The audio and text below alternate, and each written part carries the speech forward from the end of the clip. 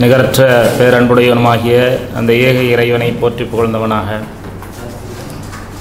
அவனால் வெறுக்கப்பட்ட தீவைகளிலிருந்தும் பாதுகாவல் தேடியவனாக. அந்த ஏக இறைவனின் சாந்தியும் சமாதானமும் அகிலத்தின் தலைவர் முகமது நபி அவர்கள் மீதும் அவருடைய குடும்பத்தார் மீதும் அவர்களுடைய தோழர்கள் தோழியர்கள் மீதும் சத்தியத்தை தானும் பின்பற்றி பிறருக்கும் உபதேசிக்கின்ற அனைத்து நல்லடியார்கள் மீதும். இந்த காணொளியை கண்டு கொண்டிருக்கின்ற அனைத்து சமுதாயங்களை சார்ந்த சகோதர சகோதரிகள் மீதும் அந்த ஏக இறைவனின் சாந்தி சமாதானம் உண்டாகட்டுமாக.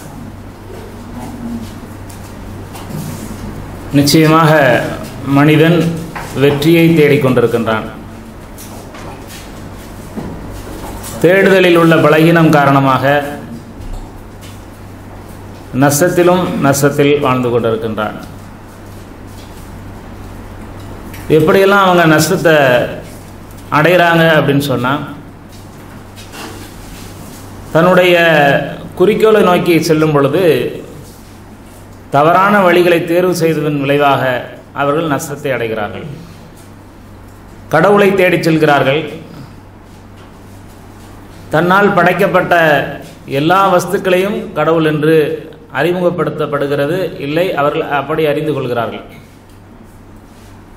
நம்மால் உருவாக்கிய ஒரு பொருள் எப்படி நமக்கு கடவுளாக இருக்க முடியும் என்கின்ற சிந்திப்பு இல்லாதது ஒரு காரணத்தினால்.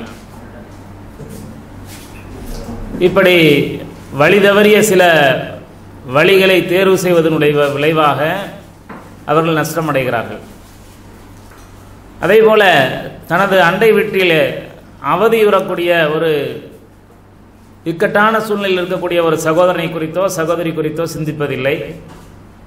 ஆனால் எங்கோ கண்ணுக்கு தெரியாத சில வழிபாடுகளில் சென்று பொருளாதாரத்தை வீணடித்து கொண்டிருக்கின்றார்கள். இதை சரி என்றும் சரியான அண்டை வீட்டில் இருக்கக்கூடிய அனாதைகளை அரவணைப்பது நம்முடைய கடமை இல்லை என்றும் விளங்குவதன் விளைவாக அவர்கள் நஷ்டத்தை சந்திக்கின்றார்கள்.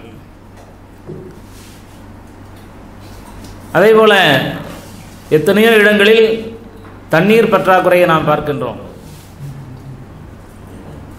எந்த அளவுக்கு என்று சொன்னால் சில பகுதிகளில் ஒரு மாதத்திற்கு பின்புதான் குடிநீர் கிடைக்கின்றது என்கின்ற செய்தியும் சொல்கிறார்கள். சிலர் மூன்று மாதங்களுக்கு ஒரு முறை தான் குடிநீர் வருகின்றது சொல்லக்கூடியதெல்லாம் நாம் கண்ணுற பார்க்கின்றோம் கேட்கின்றோம். ஆனால் தண்ணீரை வீண் விரயம் செய்யக்கூடிய அநேக மக்களை நாம் பார்த்து கொண்டுதான் இருக்கின்றோம். எந்த அளவுக்கு என்று சொன்னால் முகமது நபி அவர்கள் சொல்கிறார்கள் தண்ணீரில் உங்களுக்கு தொழுகைக்கு முன்பே நீங்கள் ஒழு செய்யும் என்று அதாவது தூய்மைப்படுத்திக் கொள்ளுதல் என்கின்ற ஒரு பாடத்தை குறித்து சொல்லும் பொழுது மூன்று முறைக்கு மீறி நீங்கள் உங்களை மூன்று முறைக்குள்ளாகத்தான் உங்களை தூய்மைப்படுத்திக் கொள்ள வேண்டும் என்று சில வழிமுறைகளை கற்றுத்தருகிறார்கள் தொழுகைக்கு முன்பாக கைகளை கழுவுவது முகங்களை கழுவுவது கால்களை கழுவுவது தலையை மசகு என்று சொல்லக்கூடிய ஒரு துளைத்தெடுப்பது இது போன்ற காரியங்களில் மூன்று முறைக்கு கூடுதலாக நீங்கள் தண்ணீரை செலவு செய்யக்கூடாது என்கின்ற ஒரு கட்டளை இடுகின்றார்கள். பற்றாக்குறை இருக்குமானால் ஒரு முறை செய்தால் போதும் என்று சொல்கிறார்கள். சுத்தமாக தண்ணீரே இல்லாத ஒரு சூழ்நிலை இருக்குமானால் தண்ணீரே இல்லாது மன ரீதியான ஒரு தூய்மைப்படுத்துதல் என்கின்ற ஒரு அடிப்படையில் ஒரு பயிற்சியை கற்றுத்தருகிறார்கள். இது ஏன் சொல்லித்தர்றாங்க அப்படின்னு சொன்னால் இப்படிப்பட்ட காலங்களும் வரும். மனிதர்கள் சிரமப்படக்கூடிய தண்ணீருக்காக அவதியுறக்கூடிய ஒரு காலகட்டங்கள் எல்லாம் வரும். அப்பொழுது நீங்கள் கவனக்குறைவாக தண்ணீரை அதிகமாக செலவு செய்துவிடக்கூடாது என்பதற்காக நம்ம பார் நம்மளுடைய பார்வையில் மிக அற்பமாக சிறிதாக தெரியக்கூடிய விஷயங்களை கூட மிக அழகாக முறையாக முகமது நபி அவர்கள் போதித்திருக்கிறார்கள். யார் அனாதைகளை அரவணைத்து செல்வார்களோ அவர்கள் வெற்றி நாளில் கடவுளுடைய வெற்றிக்குரிய ஒரு நாளில் அவர் தரக்கூடிய அந்த சொற்குலோகத்தில் என்னோடு இப்படி இருப்பார்கள் என்று தன்னுடைய விரலை இறுக்கமாக காமித்து இப்படி இணைந்திருப்பார்கள் என்று என்னோடு இணைந்திருப்பார்கள் என்று சொல்கிறார்கள். இப்போ அனாதைக்கு நமக்கு என்ன உறவு? ஏன் அவர் நம்ம அரவணைக்க வேணும்? அவர் அரவணைக்கிறதுக்கு இவ்வளோ பெரிய பரிசா? அப்படின்னு பார்க்கும் பொழுது ஒருவர் தன்னுடைய இறைவனை அடைவதற்கான வழி இறைவனிடமிருந்து பரிசு பெறுவதற்கான வழியே அந்த அனாதை இடத்திலும் ஆதரவற்றவரிடத்திலும் கடவுள் புதைத்து வைத்திருக்கிறார். ஆனால் நம் பொருளாதாரத்தை வேறு வழியிலே வீணாக செலவு செய்கின்றோம். இப்படி அண்டை வீட்டாரிலும் தெருவோரங்களிலும் இருக்கக்கூடிய அனாதைகளை குறித்து கவலைப்படுவதில்லை. பார்வையற்றவர்கள் எத்தனையோ பேர் தினந்தோறும் வேலைக்கு சென்று வருகிறார்கள். அந்த பார்வையற்றவர்கள் குறித்து அரசும் கவலை கொள்வதில்லை. நம்மை போன்ற சக மனிதர்களும் கவலை செல்வதில்லை. ரோட்டிலே பல பேர் நடந்து செல்வார்கள். அவரோடு தான் அந்த பா கண் தெரியாதவர் நடந்து செல்வார். ஆனால் அந்த கண் தெரியாதவர் எங்கே போகணும்? நம்ம போகிற வழியில் தான் போவார் அவரும். நம்மளோட ஒரு பத்து தெரு தள்ளி இருக்கலாம் இல்லை ஒரு தெரு முன்னாடி கூட இருக்கலாம். நம்ம போகும் பொழுது அவரையும் சேர்த்து அரவணைத்து அழைத்து செல்லும் பொழுது இதற்கு கிடைக்கக்கூடிய பரிசை மனிதன் விளங்கினால் தனக்கு எந்த பொறுப்பு இருந்தாலும் அதை புறக்கணித்து விட்டு அந்த கண் தெரியாதவருக்கு வழிகாட்டவும் அவரோடு உறுதுணையாகவும் இருப்பார். இது ஒரு பெரிய தூக்கி சுமக்கிற வேலைகள்லாம் இல்லை. அவரை ஒட்டி போனோம்னா அவரே நம்ம கையை பிடிச்சிப்பாரு இல்லை அவருடைய ஸ்டிக்கை நம்ம பிடிச்சா போதும். அவர் போகக்கூடிய இடத்த கேட்டுக்க வேண்டியது. அழகான முறையில் நம்ம போகிற வழியில் ஒரு பஸ் ஸ்டாண்டில் பேருந்து நிலையத்தை தான் அவர் போய் நிற்க வேண்டியதாக இருக்கும். அதை வழிகாட்டணும். இப்படிப்பட்ட வழிகாட்டுதலுக்கு இப்படிப்பட்ட வழிகாட்டுதல்களுக்கு மறுமையிலே உனக்கு மிக உயர்ந்த அந்தஸ்தை வழங்கப்படுகிறது. இல்லை என்றால் நீங்கள் நஷ்டவாளிகள். உங்களுக்கு கொடுக்கப்பட்டிருக்கிற பொருளாதாரம் இருக்கிறதே இது முற்றமும் உங்களுக்கு சொந்தமானதல்ல. அந்த பொருளாதாரத்தை எவ்வாறு செலவு செய்ய வேண்டும் என்பதை மிக தெளிவாக முகமது நபி அவர்கள் தன்னுடைய செய்திகளிலே சொல்லி இப்படியெல்லாம் செலவு செய்வதற்காகத்தான் உங்களுக்கு வழங்கப்பட்டிருக்கிறது. பணத்தின் முதலாளி நீங்கள் அல்ல. பணத்தில் முதலாளி வானத்திற்கு மேலே இருக்கிறார். நீங்கள் பணியாளர்கள். அந்த பணத்தினுடைய பணியாளர்கள். இந்த பணத்தை எவ்வாறு செலவு செய்ய வேண்டும் என்பதுதான் உங்களுடைய பணி என்பதை உணர வேண்டும். ஆனால் இந்த உணர்வு இல்லாத பல பேர் என்ன செய்கிறாங்க மூட்டை மூட்டையாக கட்டி வச்சுட்டு தேர்தல் ஆணையத்தை மொத்தமாக கொடுத்துட்டு விளம்பரத்தில் வந்துட்டு இருக்கிறாங்க பார்க்குறோம் அதற்கு முன்னாடியே உங்களுக்கு சிந்தனை வர மாட்டேங்குது அப்படின்னு சொன்னால் நீங்கள் தேர்வு செய்த வழி தவறானதாக இருக்கிறது. நீங்கள் எதை ஆன்மீகம் என்று எண்ணிக்கொண்டிருக்கிறீர்களோ அது தவறான ஆன்மீகம். உண்மையான ஆன்மீகம் சக மனிதர்களோடு எப்படி நடக்க வேண்டும் என்பதும் நீ எப்படி நடந்து கொள்வது கொள்ள வேண்டும் என்பதும் உனக்கு கொடுக்கப்பட்ட பொருளாதாரம் எப்படி இருக்க வேண்டும் என்பதும் தான் உண்மையான ஆன்மீகம். அதை விளங்காம கோடிக்கணக்கில் சேர்த்து வச்சுட்டு மின் நிம்மதி வேணும்னு சொல்லி சில பேர் வந்து ஒரு ஒரு மலையாக தேடி போயிட்டு இருக்கிறாங்க சில மலைகள் காணா போயிடுச்சு. தேடி போன பல மலைகள் இன்றைக்கு காணும். அப்போ இவ்வளோ நாள் இங்கே தானே நம்ம தேடி போனோம். ஏன் போனோம்? இப்போ ஏன் அது இல்லை? இல்லைன்னு நமக்கு என்ன ஆச்சு அப்படின்ற ஒரு சிந்தனையே கிடையாது. ஆனாலும் பொருளாதாரத்தை கொண்டு போய் அங்கே செலவு செய்கிறாங்க இங்கே தெருவோரத்திலும் தன்னுடைய அண்டை வீட்டிலும் தன்னுடைய உறவுக்காரர்கள் கூட சிலர் சிரமப்படுறத பார்க்கலாம். ஏன்? தன் பெற்றோர்கள் கூட சில பேர் என்ன செய்கிறாங்க என் பிள்ளைங்க என்னை திரும்பி கூட பார்க்கறது இல்லைப்பா எனக்கு உணவு தர வேண்டாம். அவன் சாப்பிடும் பொழுது ஏம்மா நீங்கள் சாப்பிட்டீங்களான்னு கேட்டால் போதும் எங்களுக்கு வயிறு நிறைஞ்சிரும் அப்படின்னு சொல்லக்கூடிய பெற்றோர்கள்லாம் இருக்கிறாங்க. கண்ணீர் விட்டு அழுகிறாங்க. ஆனால் அவங்க வந்து சாதாரணமாக பிள்ளைங்களை வளர்த்தெடுக்கல. சொத்துகளோடு விட்டுட்டு போனவங்க பெற்றோர்கள் கூட இன்றைக்கி அந்த அவதியில் இருக்கிறாங்க. சொத்து கொடுத்துருக்குறாங்க கல்வி கொடுத்துருக்குறாங்க ஆரோக்கியத்தை கொடுத்துருக்குறாங்க அந்த பெற்றோர். இப்படி பெற்ற பெற்றோரை கூட பார்க்காத சிலர் தன் ஆன்மீக வழியில் போவதாக சொல்லிக்கொண்டு சில மலைகளுக்கு ஏறி இறங்கி கொண்டு இருக்கிறார்கள் நான் உண்மையில் இஸ்லாம் சொல்லுகிறது முகமது நபி அவர்கள் சொல்லுகிறார்கள் உன்னோருடைய தாயின் காலடியில் சுவனம் இருக்கிறது அப்படின்னு. இதை சில பேர் சரியாக விளங்காத என்ன பண்ணுறாங்க காலுக்கு கீழே குனிந்து தேடிக்கிட்டு இருக்கிறாங்க. சொர்க்கங்க தான் இருக்குது போல இருக்கு அப்படின்ட்டு. தாய்க்கு பணிவிடை செய்வதன் மூலமாக பெற்றோருக்கு பணிந்து நடப்பதன் மூலமாக தன்னுடைய இறக்கையை தாழ்த்துவதன் மூலமாக அவர்களை அரவணைப்பதன் மூலமாக உங்களுக்கு வெற்றி இருக்கிறது என்பதை முகமது நபி அவர்கள் சொல்லியிருக்கிறார்கள். அப்போ இங்கே யார் பெற்றோரை பேணி நடக்கவுமோ அதுதான் உண்மையான ஆன்மீகம்.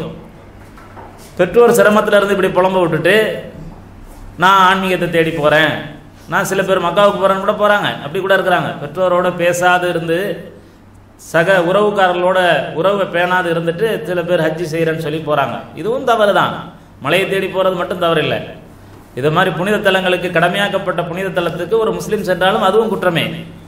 இங்கே ச இங்கே எப்படியெல்லாம் நடக்க வேண்டுமோ அதை பூர்த்தி செய்ய வேண்டும். அதில் உள்ள குறைபாடுகள் இருந்தால் இறைவன் மன்னிப்பான். இறைவனுக்கு செய்ய வேண்டிய வழிபாடுகளில் குறைகள் இருந்தால் ஒரு ஒரு தொழுகையில குறை செய்கிறார் ஒரு ஒரு நோன்பு நோட்பதிலே குறை செய்திருக்கிறார் ஒருத்தர் வந்து ஹஜ்ஜி செய்கிறதுல குறை செய்கிறாரு அப்படின்னு சொன்னா அதுல கடவுளுடைய மன்னிப்பு இருக்குது. அவர் மன்னிப்பை பெற்று வெற்றி அடைஞ்சிட முடியும். ஆனால் சக மனிதர்களுக்கு செய்ய வேண்டிய கடமைகள் இல்லை இல்லை சார் பெற்றோருக்கு செய்ய வேண்டிய கடமைகளோ சகோதர சகோதரிகளுக்கு செய்ய வேண்டிய கடமைகளிலோ அவர் குறை செய்திருந்தால் தன்னுடைய நிர்வாக பொறுப்பில் இருக்கும் பொழுது சக நிர்வாகிகளுக்கு குறை செய்து அதில் தவறு செய்திருந்தால் அந்த சக மனிதர்கள் அந்த பெற்றோர்கள் அந்த தொ- அந்த உற்றார் உறவினர்கள் தன்னை மன்னிக்காத வரை இறைவன் மன்னிப்பதில்லை என்று முகமது நபி சொல்லா அலையம் சொல்லி காட்டுறாங்க. அப்போ நாம் எங்கே கவனம் செலுத்தணுமோ அங்கே கவனத்தை கவனக்குறைவாக இருந்துவிட்டு எதிலே வந்து மன்னிப்பெல்லாம் இருக்குதோ அதில் மிக கவனமாக இருப்பது போல் நாம் வாழ்ந்து கொண்டிருக்கிறோமே பரிசை யாரிடம் பெறப்போகிறோம் நிச்சயமாக பரிசு பெறக்கூடிய எண்ணமுடையவர்கள் எப்படி நடந்து கொள்ள வேண்டுமோ அதை தெளிவாக திருக்குரான் அழகாக போய்த்து காட்டுகிறது.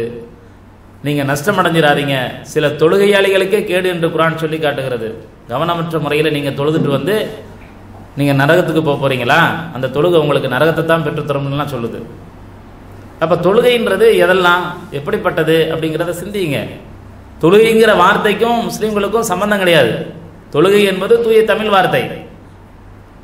ஆனால் சிலர் அந்த வார்த்தை இவர்களுக்கு மட்டுமே என்று ஒதுக்கிவிட்டார்கள். தொழுகை என்பது தமிழ் வார்த்தை. அதே போல பள்ளி பள்ளிவாசல் என்று அழைக்கிறது முஸ்லீம்களுக்கு சொந்தமான வார்த்தை கிடையாது. பொதுவான தமிழ் வார்த்தை.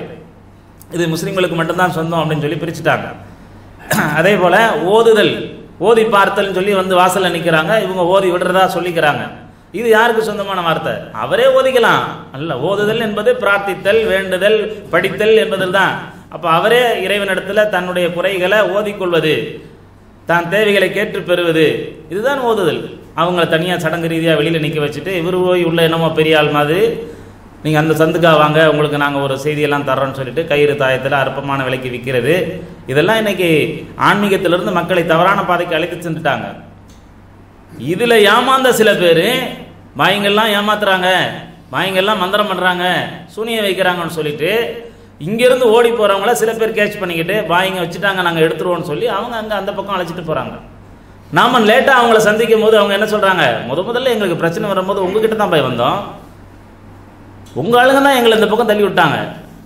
பாருங்கள் எங்களுக்கு இது மாதிரிலாம் சொல்லி எங்கள் சொத்தை எழுதி வாங்கிட்டாங்க. எங்களுடைய பல பொருளாதார மோசடி பண்ணாங்க. இதுக்கப்புறம் தான் எங்களுக்கு ஒருத்தவங்க சொன்னாங்க இங்கே போங்க உங்களுக்கு நிம்மதி கிடைக்கும்னு. அங்கே போனால் அங்கே நிம்மதியாக இருக்குன்னு சொல்கிறாங்க உள ரீதியாக அவங்களுக்கு நிம்மதியை ஏற்படுத்துகிறாங்க செய்தி பொய்யானவர்கள் உள ரீதியாக அவர்களை தேற்றி ஒரு நேரான பாதையை போல் அவர்களுக்கு தோற்றமளித்து வெற்றி அடைஞ்சிடுறாங்க. ஆனால் வெற்றியின் வழியில் இருக்கக்கூடிய நாம வரக்கூடிய அந்த மக்களை மொத்தமாக கொண்டு போய் அநியாயம் அநியாயம் அக்கிரமம் செய்து அவர்களை தவறான வழியின் பக்கம் திருப்பி விடுறோம். இதெல்லாம் யாருக்கு இப்போ எப்போ நம்ம பதில் சொல்ல போகிறோம் இறைவனிடம் இதற்கெல்லாம் நிச்சயமாக கேள்வி கணக்கு உண்டு. அதை பார்த்தும் பார்க்காததும் போல பல பள்ளி நிர்வாகிகளும் இதற்கு உடந்தையாக இருக்கிறார்கள். சில புரோக்கர்களும் பள்ளிக்குள் இருக்கிறாங்க. வாங்க அவர்கிட்ட போங்க சரியாயிடும்னு சொல்லி அவருக்கு அட்ரஸ் கொடுத்து அனுப்புறாங்க. எல்லாமே குற்றத்தில் வரும். நானா செய்கிறேன் அவர் தானே செய்கிறாரு நான் வழிதான் காட்டுறேன்னு சொல்கிறீங்க நிச்சயமாக இப்படிப்பட்ட விஷயங்களை எல்லாம் திருத்தி கொண்டு இறைவனை அடையக்கூடிய அழகிய வழி இந்த திருக்குறானிலும் முகமது நபியுடைய வாழ்க்கை குறிப்பிலும் ஏராளமாக கொட்டி கிடக்கிறது. அப்படிப்பட்ட ஒரு நற்செய்தியின் பக்கம் உங்கள் அனைவரையும் அழைத்தவனாக இந்த வாய்ப்புக்கு நன்றி கூறி விடைபெறுகிறேன். வாஹர்தவான் அலமதுல்லாஹி ரபில் ஆலமீன். அஸ்ஸலாமு அலைக்கும் வரஹ்மத்துல்லாஹி வரகாத்துஹு oh, oh, oh. oh, oh.